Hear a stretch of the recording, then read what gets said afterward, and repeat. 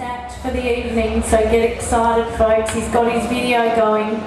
He always does something special. Are you ready, Rudy? Always. Come on, big round of applause. He's our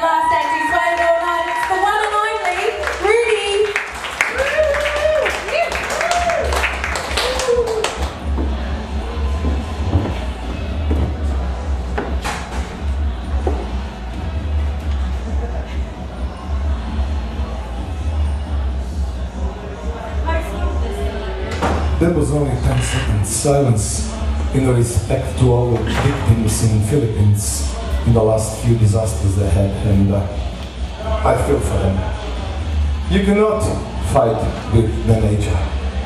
You always lose, doesn't matter how much you take out of out of nature, out of earth, out of everything, you always lose.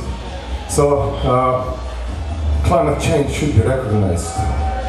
And all of you who contributed into uh, Tony Abbott's uh, victory, go fuck yourself. It- it you, you really, you really fucked it up. And as a,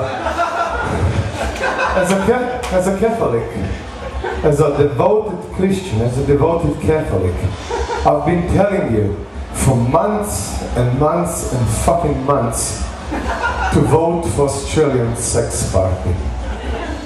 See how ironic is that? You voted for Tony Abbott, not for Australian sex party, and you fucked up.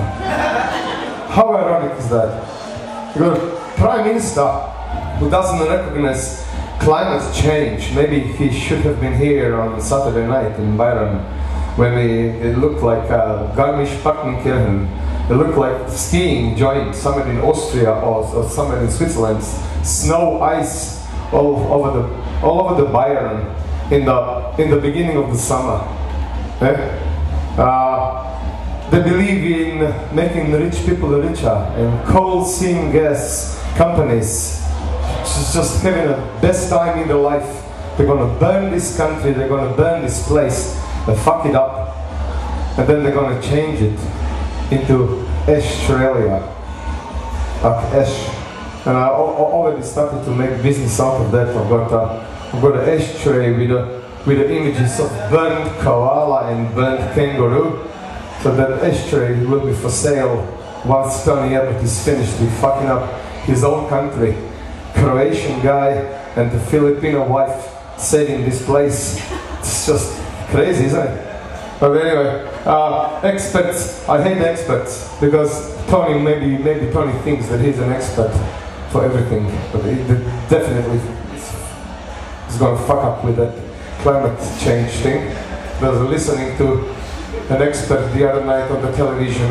Uh, he was a food expert, and he said, uh, amongst all shit that he said, he also said that. Uh, uh, rice is a very beneficial food.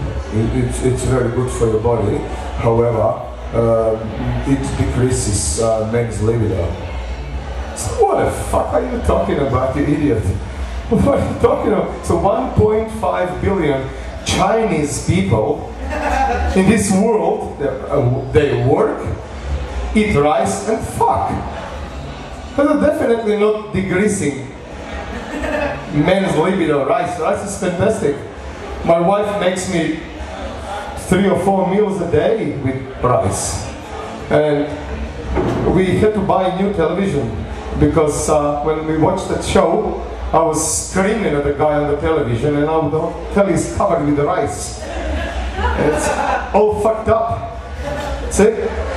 So if, if you if you if you voted uh, Australian Sex Party, you could watch much better programs on the television. There will be maybe a few drips on the screen, but they usually pretty easy to wipe off with Windex and a little bit of paper towel. But anyway, you know that's a whole that, that's a whole that's a whole fuck up of the story, yeah. Uh, also, uh, uh, I have to say that uh, uh, two weeks ago I became second time grandfather this year with a second granddaughter.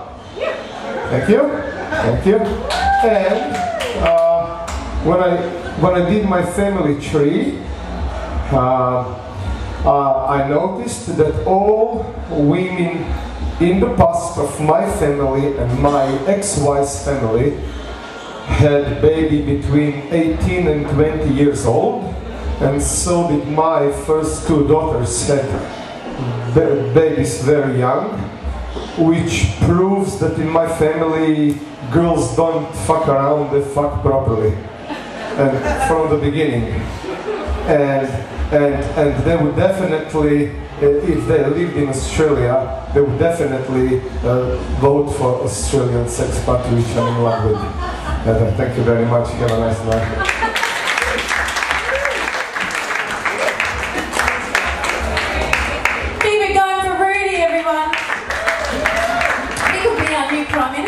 Going